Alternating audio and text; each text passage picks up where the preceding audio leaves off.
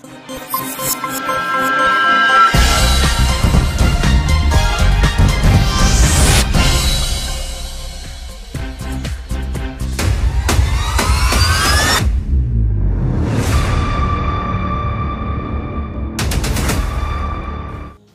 में जेर समात मुकदमात की आपस में मशावरत और एक दूसरे के तजर्बात से फ़ायदा उठाने के लिए सेशन कोर्ट में जजेस के लिए कमेटी रूम का अफ्ताह कर दिया गया। जिसमें बार और बेंच के मम्बरान ने शिरकत की।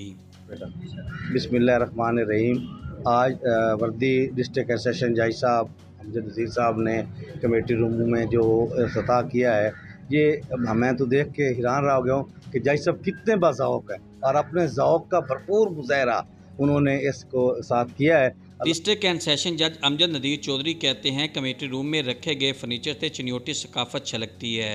जो हमारा कमेटी रूम है इसकी रेनोवेशन की है और चनियोट की जो एक रवायती फर्नीचर है और रवायती जो अक्कास है चनियोट की पहचान है उस फर्नीचर और चेयर्स और एक लाजवाब कमेटी रूम हमने आज रेनोवेट किया है उसका अफ्ताह किया है।